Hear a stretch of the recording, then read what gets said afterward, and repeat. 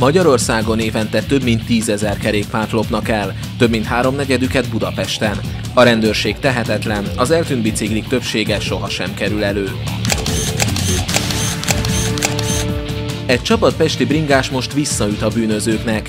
Egy éven keresztül állítottunk csapdát a tolvajoknak jeladós kerékpárok segítségével.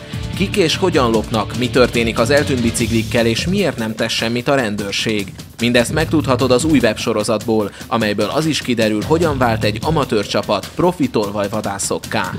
És egyből ott mondták, hogy maradjunk ott, ne menjünk sehova, Monori rendőrkapitányságra hívják a rendőröket. De én nem is tudtam semmiről, semmit, hogy honnan van a biciklis, tehát egyből ránk lett fogva. Tolvajkergetők. Hetente a tolvajkergetők.hu-n október 1-től.